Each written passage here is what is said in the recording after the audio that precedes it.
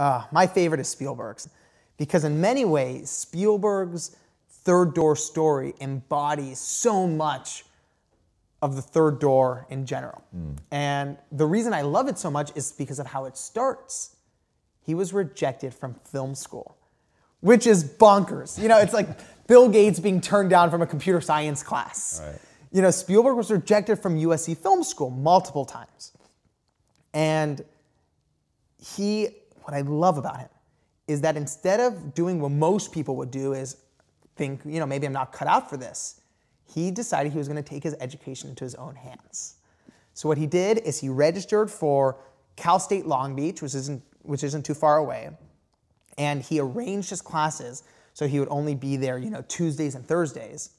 And he decided he would find a way to break into Hollywood. So what he did is, have you been to uh, Universal Studios, the theme park? So you know that tram ride that takes you on the back lot? So Spielberg, when he was 19, goes to Universal Studios, goes on the tram ride, goes around the back lot, jumps off the tram, hides in a bathroom, waits for the tram to ride away, and starts wandering around the lot. And you know, he's popping his head here and there, and this older gentleman, his name is Chuck Silver, stops him. And Chuck Silvers worked for the Universal Television Library. And you know, this 19 year old kid just starts mumbling, saying, like, you know, my biggest dream is to be a director. And they end up actually talking for about an hour. And Chuck Silvers goes, You want to come back on the lot? And Spielberg's like, That would be my biggest dream. So Chuck Silvers writes him this three day pass and hands it to him. And Spielberg, you know, comes on day one, day two, day three. But on day four, he comes back onto the lot wearing a suit, holding his dad's briefcase, walks up to the security entrance, puts a hand in the air, and goes, Hey, Scotty! And Scotty just waves back and he walks right in. And for months, Spielberg would walk back onto the lot and sneak into sound stages, go into editing rooms, asking actors and actresses and producers out to lunch, soaking up as much knowledge as he could. And again, what I love about it is this was a kid who was rejected from film school, and in many ways, he created his own film school. And you know, he's going around the lot, and after a while, Chuck Silvers, who became a mentor to him, said one of the best pieces of advice he could have given. He said, Stephen, there needs to be a point where you stop schmoozing and you come back with something of quality to show people. Mm. And Spielberg, you know, took that hard, you know, we were talking about hard piece of advice. He took that hard piece of advice to heart and he stopped coming to the lot and started creating this short film called Amblin.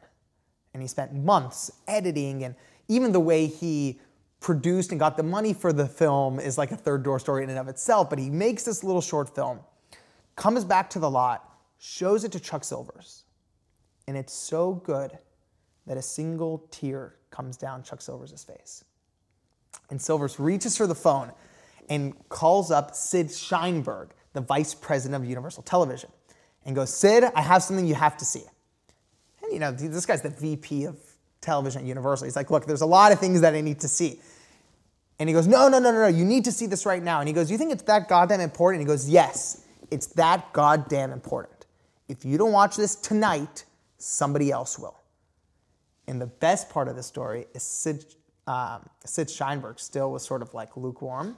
So Chuck Silvers called, this is back when they had projectionists. Chuck Silvers called the projectionist for Sid Sheinberg's office and was like, look, Sid doesn't want to watch this, but when he gets to the, you know, the projection room tonight, put this first. He pretty much put his entire reputation on the line for this young 19-year-old Steven Spielberg. And as soon as uh, Sid Sheinberg watched the movie, he said he wanted to meet Spielberg immediately. Spielberg ran over, got to the big office, and on the spot, he got offered a seven year contract. And that's how he became the youngest director in Hollywood history. And when I reflect back on this story, you know, there's a million things that worked well.